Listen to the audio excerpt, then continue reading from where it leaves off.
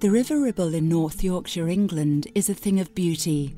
Meandering from the market town of Settle to the village of Long Preston, it is a lowland river in an upland setting. Its ever-changing currents, however, have upset the ecosystems at a site of special scientific interest. Attempts over centuries to extensively drain the surrounding 162 hectares for grazing livestock had also affected the landscape and wildlife habitat. Draining water quickly from the floodplain affected the breeding success of wetland birds at one of the best inland sites in England. The Ribble is largely confined to the channel by flood banks and by historic dredging and deepening. So natural flooding events are now very limited and the erosive power of the river scours sediment from the riverbed and banks. Livestock access to the river has inhibited vegetation along stepped banks. The consequences? Disrupted spawning grounds had diminished fish stocks and some of the 60 species of visiting birds had disappeared. The aquatic environment was poor in water crowfoot, water starwort, and pondweed species. Bankside woodland was almost completely absent except for a few scattered sycamore, young alder, and crack willow. Finding a solution was not going to be easy. Some 18 landowners and tenants had an interest in the area, with up to a dozen groups and agencies, from anglers to local authorities, would closely monitor any plans to alter the course of the river or its environs. Collaborative working was key. Through a mixture of diplomacy, painstaking scientific appraisal, and meticulous consultation, has evolved the Long Preston Deeps Wet Grassland Project.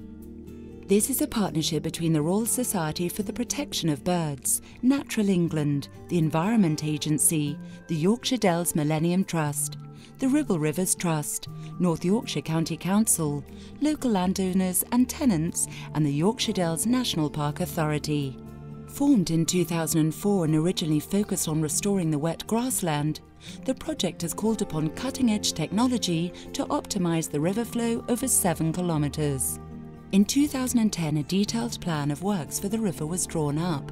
Ongoing restoration projects aim to allow natural flooding to occur by once again reconnecting the river to its floodplain.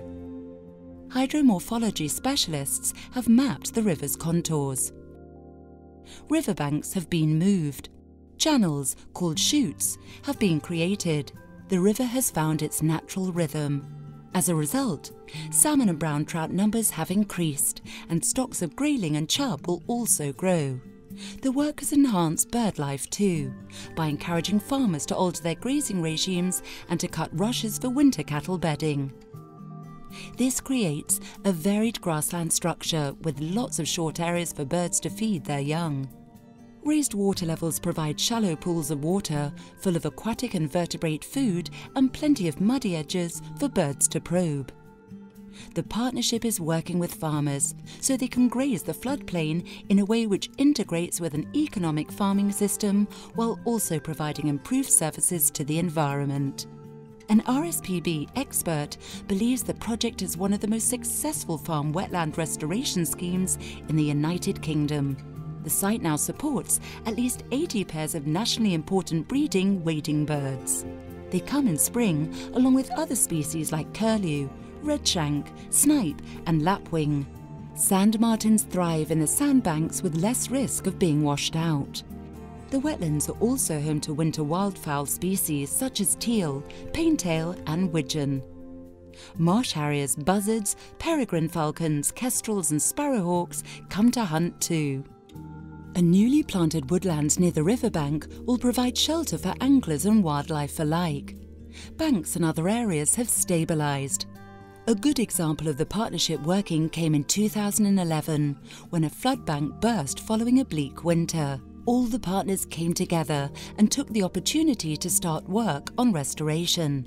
Flood banks were moved back and revetment removed, resulting in the river and around 6 hectares of its floodplain being reunited. The success led to more phases being planned and implemented in 2012, when more than 3.5 kilometres of river were restored and 15 hectares of floodplain reconnected.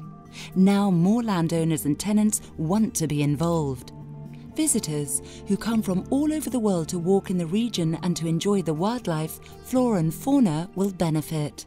And the wetlands are set to become a popular research destination for schools and university students. With improved resistance to climate change, the Ribble at Long Preston Deeps will be a treasure for future generations.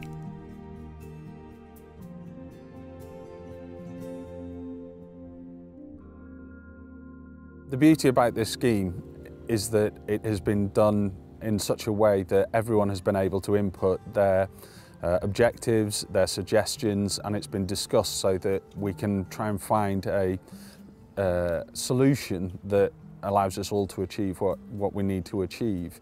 And so that is one of the, the fantastic things about this project is the way in which the partners have come together uh, and discussed and, and found a mutually acceptable solution. I don't think that the project is finished yet. I think that uh, there is more tree planting, there are more bank stabilisation, there are more um, there are a lot more things that can be done to improve both uh, adjacent to the site further down the river but also within the site itself. So some of the things that we'll possibly look to do with the trees once they become established in maybe 20 or 30 years is to see if there are ways that we can introduce some of those into the channel to, to make additional in-channel habitat.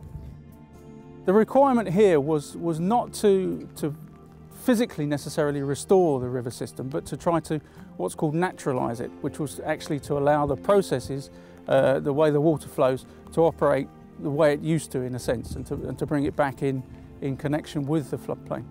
So um, that involved just tweaking the system in a sense, not, not doing very heavy engineering, but starting the system off and then allowing natural river processes to occur um, which would then create and, and um, restore some of the dynamic habitats which were here in the past. So it's, it's, it's all about reconnection and re-establishing those links which we've, we've lost.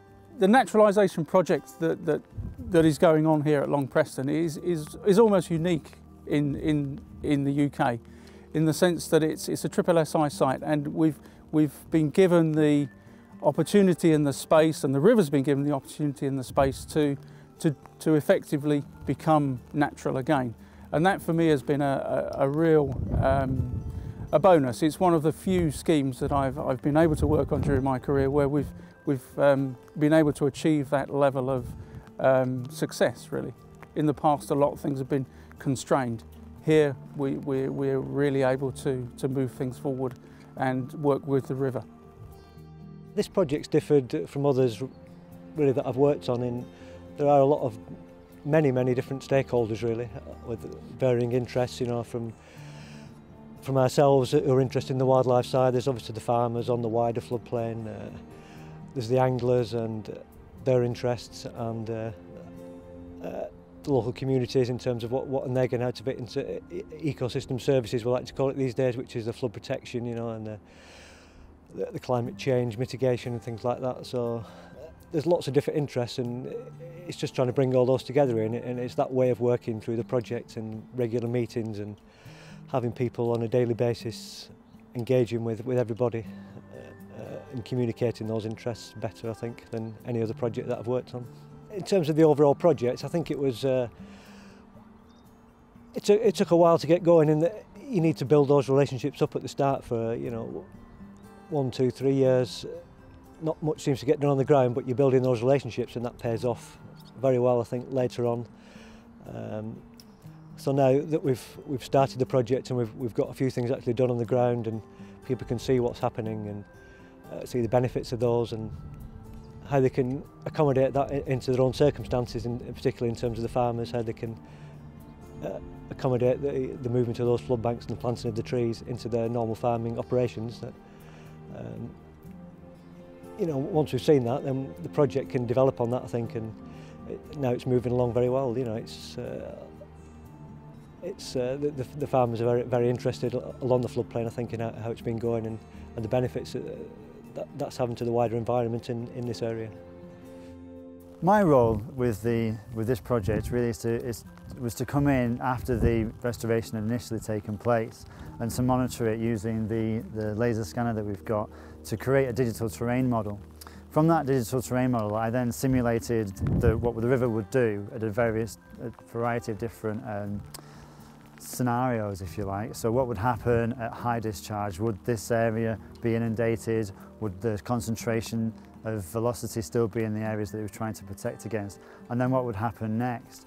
Then after uh, a, a, an event, a flood event, I would then come back and then take another uh, reading, do another survey, and then take one image from the other image and then see where you've actually got deposition, erosion, that sort of thing. It was really a case of monitoring it and to hope that the aspirations of the, of the team um, were actually right. So what they were aiming to achieve was actually along the right lines or better, and that's exactly what's happened. So the sorts of things that they hoped to happen, I've sort of proven that has happened and is continuing to, to work to the, to the best effect for the, for the river.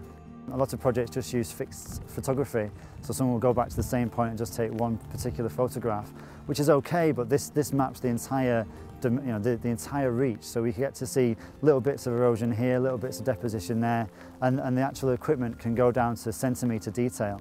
So it, it's as much as you want to make of it. When the engineers came in, they, they made quite a straight channel but that's actually starting to develop. The gravels are starting to come in. We start to get to see a lot of the invertebrates uh, building into the system. Soon you'll get pools and riffles uh, and the normal natural geomorphology will, will start arising from these um, man-made channels into something much, much more natural. That's the exciting bit. That's why this area is unique because it's dynamic, it's changing, but it doesn't require any maintenance. It's self-sustaining and the river is doing what it wants to do. And that's what's interesting for me is to see how that natural river is responding to a little bit of a push here from, from sort of human influence. My work um, started to look at how we could improve the access onto the site uh, and how we could enable people to come down here and experience a wetland.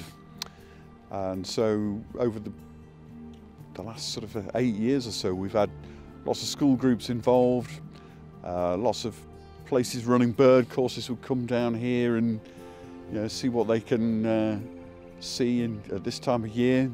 Universities come here, whether it's demonstrating sort of hydrology to their students or sustainable tourism.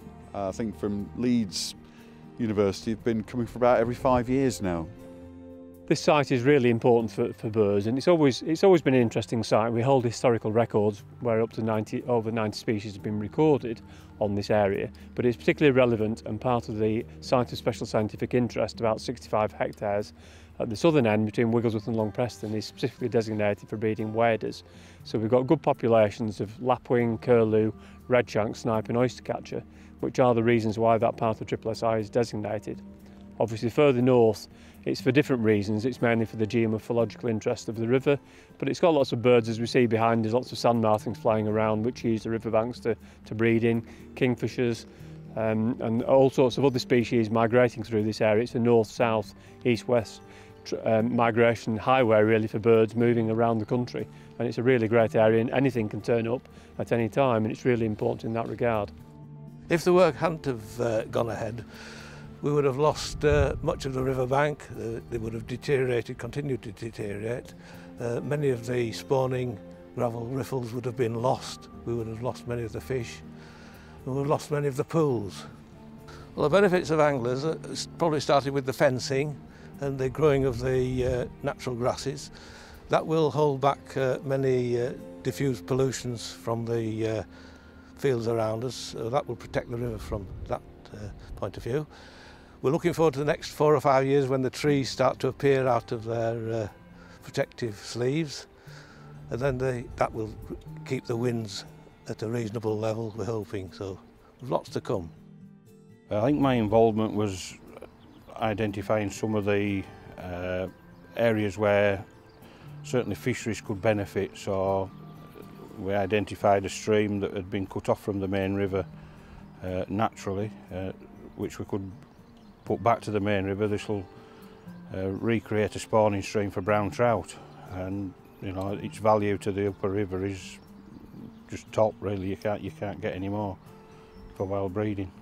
Well, the work that's been done since 2004, predominantly it will allow the river to flow out in, in high spates, uh, with, created what I think you know them as chutes or off channels, and they will allow the river to flow out into what would have naturally been the floodplain, which would, you know, naturally before man got involved and built flood banks, that's what would have happened. So it allows that to happen and that in itself disperses the velocity of the water and stops erosion or, or minimises erosion. So what we end up with is the spawning gravels where the salmon, the trout, the chub, everything else spawn, instead of getting washed away downriver, they're allowed to stabilise. and that in turn, you know, obviously protects the fish more in the future. Although we've lost uh, a bit of land for grazing um, by planting trees and fencing the riversides and things, I think uh, in the long term it's been more advantageous more advantageous to us because uh, we can just manage the land so much better now that it's fenced. Uh, our, our stock's fenced in. Um, it's not roaming. When the river used to get low, we used to get trouble with uh, cattle and sheep crossing the river and, um, and getting mixed up with our neighbours and same with our neighbours coming back over and things like that. So, you know, I'm not really worried about losing a bit of grazing land. I think as a whole um, when the trees grow and everything and everything and uh, it's just going to be better altogether. It means that we haven't just got as much uh, land to mow to make crop but hopefully the, the banking that's been created in our side and the trees that have been planted it will hold the land together better and make it so that the river doesn't get into the field and eat away any more valuable land. The scheme has been a success. We, we just now need to wait and make sure the trees uh, grow and hold the banking and the, what was the field together. Um, when, it, when it rains, it, it does come up and it isn't as fast flowing. We could see possibilities, but we were conscious that the well there was bound to be drawbacks, but it was a case of at least let's listen to what they want to do and then uh, and make a judgment about whether we wanted to participate or not. Some of the changes they were proposing um, in farming terms were, were unacceptable. Um, but by the same token, we weren't so naive to assume that, that um, some of the changes, because a lot of the lands are triple SI, there were some changes required. Uh, and so then it was, from our point of view, trying to um, get the various agencies to understand that they need to take account of, of our needs as, as farming businesses, as well as um, trying to tick their boxes with the triple SI and the wetlands and what have you. Some of our grazing is restricted to the amount of stock uh, we can put on until after uh, nesting season for wading birds. Um, uh, which I suppose in farming terms is a, is a downside, if you will. But um, some of the works where some of the embankments have been moved back, uh, we think have made a benefit because the river's got more elbow room, it doesn't rise as high now, so uh, when it's in full flood, which um, you know is a, is a definite benefit. Um, some of the other things, it's going to be wait and see. You know, we don't know yet.